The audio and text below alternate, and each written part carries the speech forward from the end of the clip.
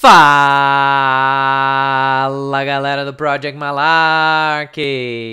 Sargent Malarkey US de volta com vocês aqui. Demorou, mas vai sair. É o vídeo das novidades do Game Pass do fim de outubro, começo de novembro.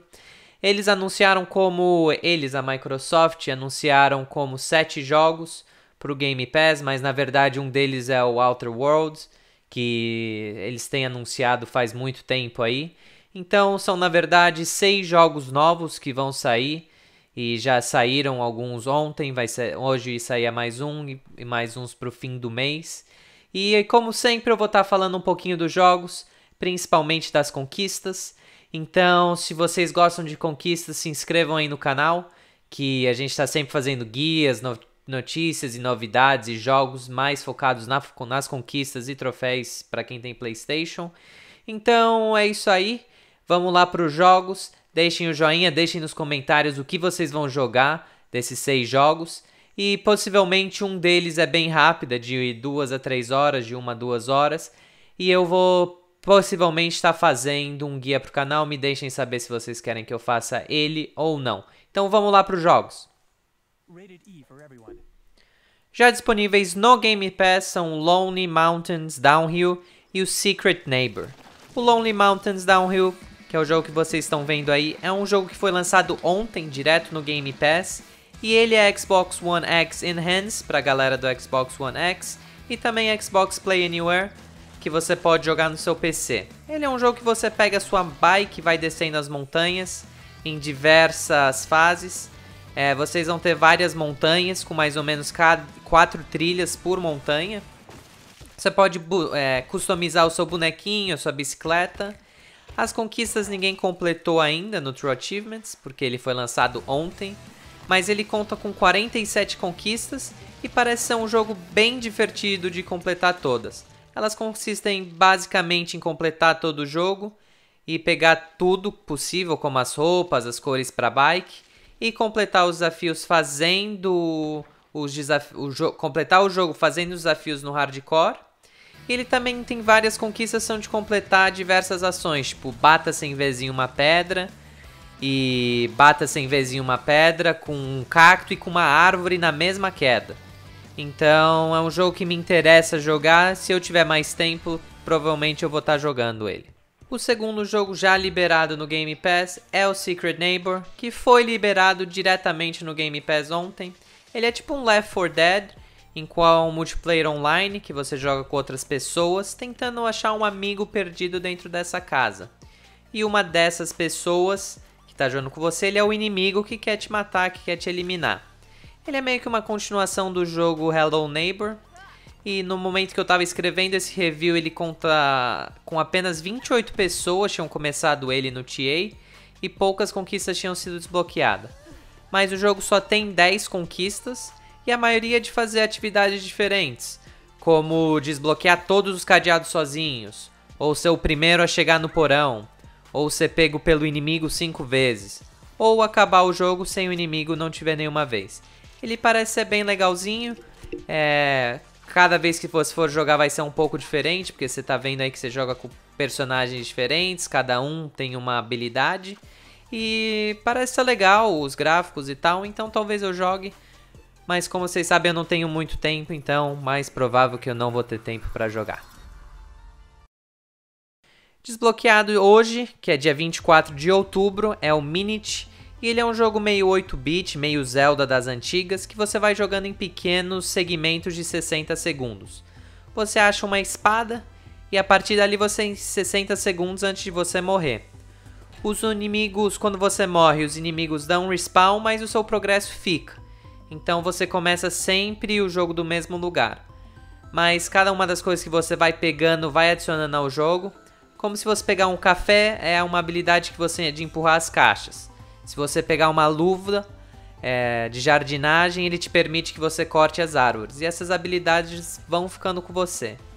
Nas conquistas, é uma boa notícia. Esse é o jogo que eu falei que pode ser completo entre uma e duas horas, ou de duas em três e você precisa basicamente de duas jogadas. Na primeira você vai jogar no normal e vai coletando algum dos itens e sem matar nenhuma das cobras e tem que morrer menos de 25 vezes. Na segunda jogada você pega o resto dos itens e acaba o jogo no modo difícil. Se vocês quiserem ver ele no canal, deixem aí que talvez eu vá fazer. Liberado amanhã, dia 25 de outubro, é o Outer Worlds. E tá todo mundo falando em todo lugar, milhões de reviews. E eu já falei umas 10 vezes dele, então eu não vou falar muito não. Mas o que vocês estão vendo aí na tela vai ser liberado dia 29 de outubro. E é a vez de um jogo chamado After Party. Que é um jogo da mesma produtora do Oxenfree. Que foi um dos jogos que eu mais odiei no Xbox One e ele segue os mesmos moldes, que é basicamente um walking simulator, tipo assim, na terceira pessoa, que é baseado nas conversas. Você vai conversando muito com as pessoas e cada opção que você seleciona na, na conversa afeta o futuro do jogo. Dessa vez é um jogo baseado meio no inferno, com essas luzes neon, com os diabo, com essas coisas, sei lá. E as conquistas são muito parecidas com a do Oxenfree, que é basicamente fique amigo do Sam ou fique amigo do diabo. Mas o problema é que se você ficar amigo de um, você não pode ser amigo do outro. E assim por diante. É, no Oxenfree, que eu lembre, você tinha que fazer uns 10 finais diferentes e tinha que escolher a conquista certinha para cada coisa. Então me fez passar tanta raiva que eu provavelmente não vou jogar o After Party. Então esperem muito de você que acertar exatamente a conversa no momento certo. O jogo que vocês estão vendo aí também é lançado dia 29 de outubro.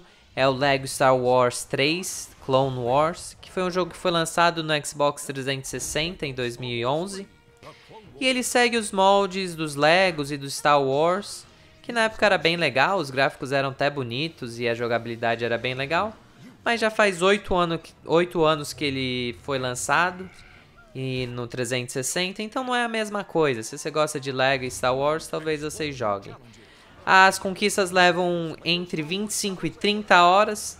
Você basicamente completa o jogo uma vez, sem pegar os colecionáveis. Na segunda vez que você joga, você pega os personagens e habilidades que vão fazer mais fácil de você pegar os colecionáveis. Daí no Free Play você vai lá e pega os colecionáveis. E na última jogada você faz as conquistas que precisam de grind como fazer o 100% ou matar 100 droids e essas coisas assim. Ah, pegue mil dinheiros. Então daí você vai lá e pega mil dinheiros. O último jogo desse round de novidades, que vai ser lançado dia 7 de novembro, é um jogo chamado Subnáutica e ele foi lançado em dezembro de 2018. Você é... cai da sua nave espacial e cai em um mundo alienígena nesse mar que tem de tudo, uns animais alienígenas, uns tubarões. E ele é meio um jogo de terror, que você vai passando, você está no escuro, você tem que pegar é, coisas no fundo do mar, você está vendo aí meio escuro, você pode ficar totalmente na escuridão.